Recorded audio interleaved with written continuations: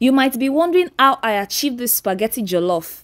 If you want to know, kindly stick around. Check this video description for all the ingredients I use. Now let's start. First, light your stove. Let's cook the spaghetti. I was trying to dip it in the Italian way, but obviously I have to try again. So put your spaghetti on fire, add salt and cover, let it cook. Second, let's blend our pepper combo. Oh, I love this combo. Look at the redness. Add your pepper into the blender. Pour in little water and blend till smooth.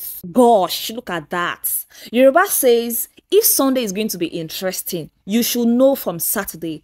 Definitely, with the look of this pepper only, eh, the spaghetti jollof will be tantalizingly delicious. It is important to know that your spag shouldn't be too soft.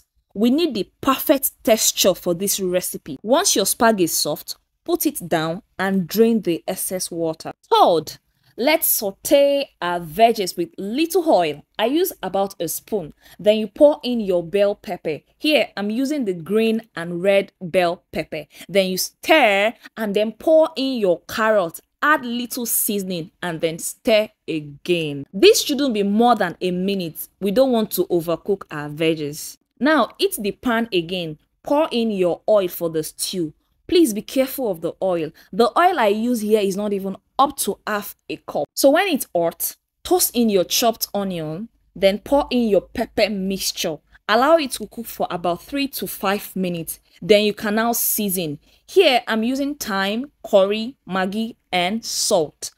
Stir and continue cooking for a thick stew. We want to achieve that thick texture. You can see that the stew doesn't have excess oil if yours has, kindly just drain it before pouring your cooked spaghetti. Then mix. You can pour the spaghetti in batches. Just continue mixing until you get a perfect combo. Then you add your sauteed veggies and mix again. Please, this should be on a low heat. And here you have it. You should have something like this once you're done. Say check am now. All these fancy restaurants no do rich like this so. I tell people that cooking is super simple and easy.